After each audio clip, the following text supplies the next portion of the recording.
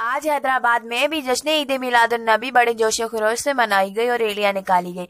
Rally में बच्चे, बड़े और बुज़ुर्गों ने शिरकत की। इसी तरह थड़ी मोहब्बत में भी जश्न ईद मिलाद नबी के सिलसिले में रैली निकाली गई और कई शहरों सांगड़ में, कंदकोट, मेहड़ और बांद्रा में भी जश्न ईद मिलाद नबी के सिलसिले में रैलियाँ निकाली गई।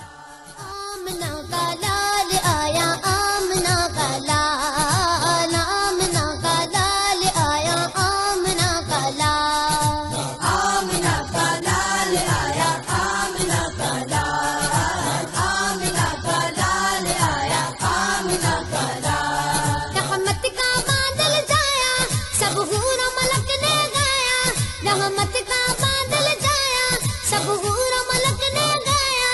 देखो शाग मदीना आया आमना का लाल आया आमना का लाल। आमना का लाल आया आमना का लाल। मुल्क भर की तरह सांगड़ में भी जश्न ईद मिलादुल नबी सल्लल्लाहु दिन नकीदत इतराम से मनाया गया। मरकजी जलूस जामा, मस्जिद सांगट से बरामद हुआ।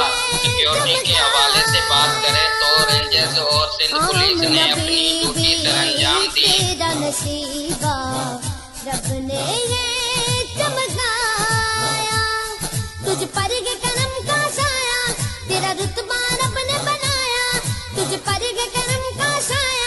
तेरा रुतबा